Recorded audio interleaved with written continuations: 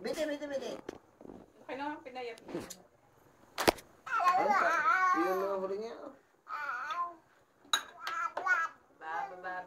Basta ala malagal sa araw ng galing.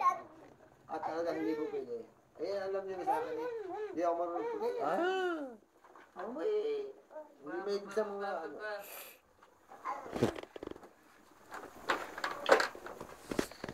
Bebe! Ano masarap ng luto ng inay? Napakatipid sa iyo. Ha? Anong gusto mo? Tapos sa iyo. Huwag na eh. Wala ka. Anong pinakamasarap na luto ng inay? Ikaw magtata yan. Makutong bata. Bali. Adobo, baboy. Yung adobo sa bukid. Tanong mo sa, sa inay. Adobo sa bukid. Walang, walang, ano, walang, sabaw. Ha? Walang sabaw.